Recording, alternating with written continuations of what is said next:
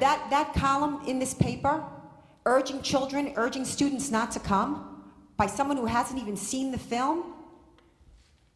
Are you not supposed to think for yourselves? Can you not make a decision for yourselves? Can you hear all sides and then critically think and make your own determination? That's all I ask of you. This is outrageous that they would run an op ed by someone who hasn't seen the movie and yet is giving a review of the movie. And of course, completely mischaracterizing my work and the work of Mr. Spencer.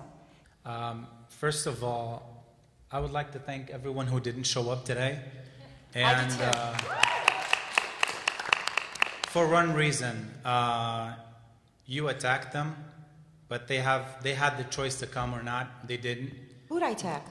The people who didn't show up today, and the guy who wrote that article in the newspaper. He Well, of course, this is supposed to be a attacked me. university. No, no, no, He, no. he Well, attacked me and he okay, smeared me. I'm not allowed to defend He, myself? well, you are allowed to defend yourself, Thank but you. remember this: freedom of speech. Yeah. He's allowed to say whatever he wants. And so am I.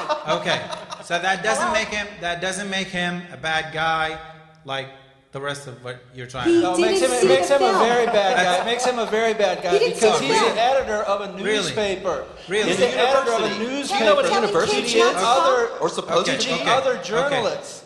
Okay, a question. And he's a question. lying in the, in the headline is a I'm lie. listening to the question. Go ahead. Okay. That doesn't trouble you? It doesn't trouble you in our movie that, that Scott Pelley sa- says a demonstrable lie that he calls the, the, the area of ground zero. The government officially sanctions this as ground zero. It took us another two minutes to walk to the edge of what the government officially designates as ground zero.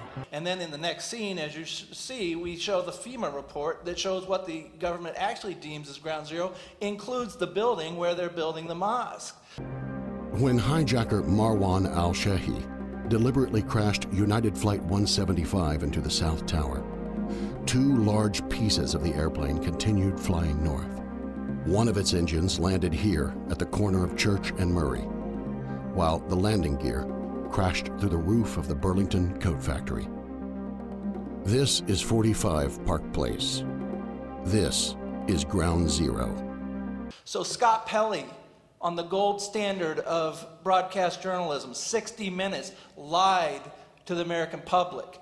The, the editor of the Post lied to the citizens of Athens. Why aren't you outraged about that? So- I'm embarrassed that I had these people come here for this event and they see this article.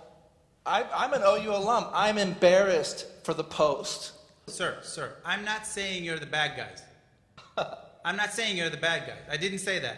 Yeah. I said that if someone other than you practiced his right of freedom of speech and said something bad about you, that makes him a bad person. Actually, Anyway- I don't care about anyway, what he that says was- bad about me because the truth is the truth and the truth comes out. What I Okay. object to in this, most of all, is that he told people not to come. In other words, he's trying to shut down the discourse. We're Is having a discussion how- here, how- although you keep trying to talk over me. We're having a discussion here and we're discussing the issues. Whereas people who aren't here at all, uh, there's no openness to any kind of discussion or debate there What at are, all. what are they afraid Don't- of? don't- I'm afraid that a- somebody might change their mind? Well, well, well. I mean, seriously, is that the problem? Think of it. Think of That it somebody this might way. agree- that somebody No. might agree? Still Ma'am, waiting for your think question, of it Max. this way: the people who didn't show up today, they had an opinion.